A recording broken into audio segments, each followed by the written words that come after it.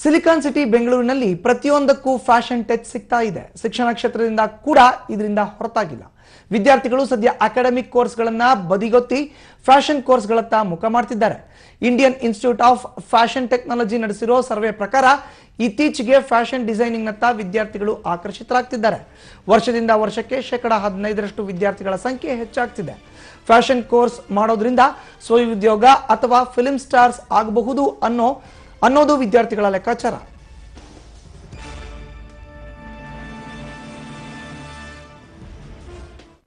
ನಾವೆಲ್ಲಾದ್ರೂ ಹೋಗ್ ತಕ್ಷಣ ನೋಡಿದ್ರೆ ಎಲ್ಲ ಅಟ್ರಾಕ್ಟಿವ್ ಆಗಿ ಕಾಣುತ್ತೆ. ಇವಾಗ ಯಾವುದೇ ಲೈಕ್ ಡ್ರೆಸ್ ಇರ್ಬೋದು, ಏನೇ ಇರ್ಬೋದು ಕಲರ್ ಎಫೆಕ್ಟ್ ಕಲರ್ ಎಫೆಕ್ಟಿಂದನೂ ನಮಗೆ ಅದು ಅಟ್ರಾಕ್ಟಿವ್ ಅಂತ ಅನ್ಸುತ್ತೆ.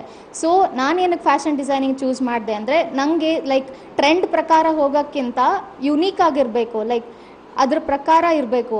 ಸೊ ನನ್ನ ಓನ್ ಕ್ರಿಯೇಷನ್ಸ್ ನಾನು ಡಿಸೈನರ್ ಆಗಬೇಕನ್ನೋ ಇದರಿಂದ ನನಗೆ ಅದು ಓನ್ ಕ್ರಿಯೇಷನ್ಸ್ ನಾನು ಕ್ರಿಯೇಟ್ ಮಾಡಬೇಕನ್ನೋ ಆಸೆಯಿಂದ ಫ್ಯಾಷನ್ ಡಿಸೈನಿಂಗ್ನ ಚೂಸ್ ಮಾಡಿದೆ.